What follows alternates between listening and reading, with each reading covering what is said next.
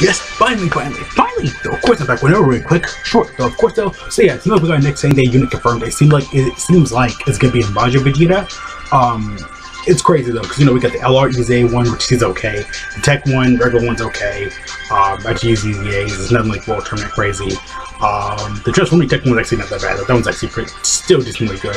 But again, we do need a good standalone Majin Vegeta. The STR one EZA is really good. The physical one's a Battlefield unit. We definitely are going to need a new one. Maybe STR physical. I, I don't even know what's what though. Or we got Mario coming for Dokkan. I'm just kidding. Of course though. But yeah, so Majin Vegeta is to be the Saiyan Day stuff again. I seriously tweet that stuff out like this. And again, he's always right on the same thought. So we got to, of course, Saiyan Day unit confirmed.